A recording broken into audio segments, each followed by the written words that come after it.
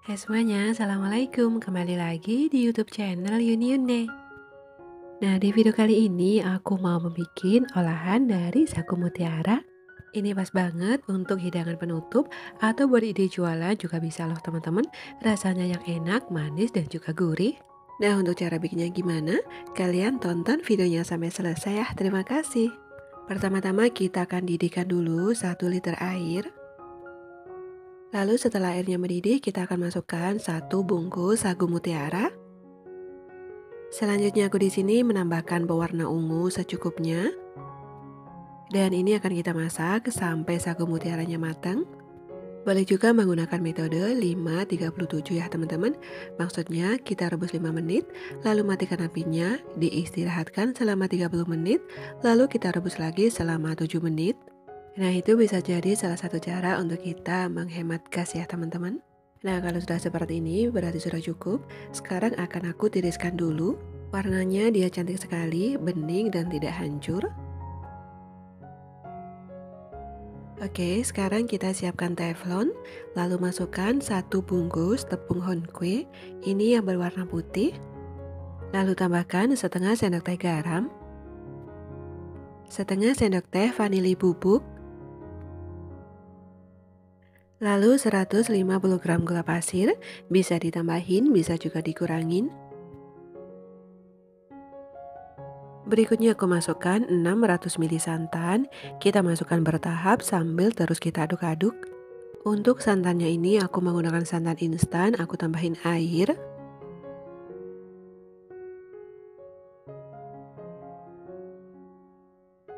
Nah, setelah kita aduk-aduk merata, sekarang akan kita nyalakan api kompornya. Di sini gunakan uh, api kecil. Oh ya, teman-teman, aku juga tambahkan pewarna taro secukupnya. Lalu ini kita masak menggunakan api kecil sambil terus kita aduk-aduk.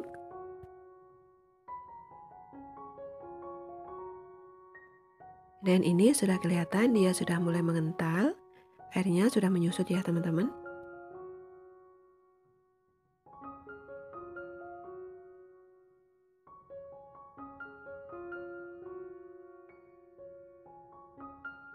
Dan ini dia tepung kue kita sudah mengental, dia sudah mateng, sudah kelihatan meletup-letup. Dan sekarang kita akan masukkan uh, sagu mutiara yang tadi sudah kita tiriskan.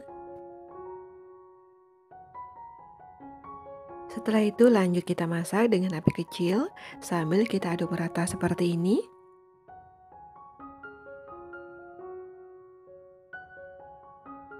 Dan setelah dirasa sagu mutiaranya tercampur rata, ini sudah cukup, kita boleh matikan api kompornya. Lalu akan kita tuang ke dalam cetakan puding seperti ini. Oh ya teman-teman, supaya nanti mengeluarkannya lebih mudah, cetakannya tadi basahin dulu dengan air matang.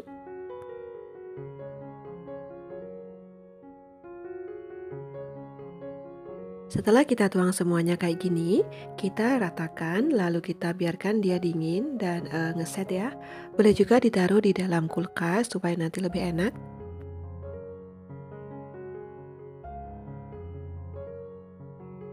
Dan setelah dia dingin dan ngeset, boleh kita keluarkan dari cetakannya. Bismillah.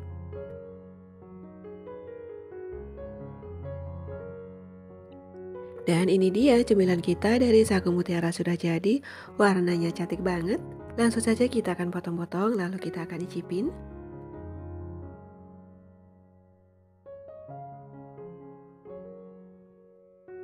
Kalau untuk ide jualan, ini boleh langsung dicetakin di dalam mika kecil-kecil atau di dalam cup-cup kecil ya teman-teman.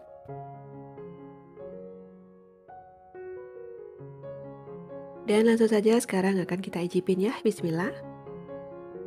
Hmm, rasanya enak banget, dia manis dan juga gurih. Ada wangi rasa taro juga, benar-benar tambah mantul.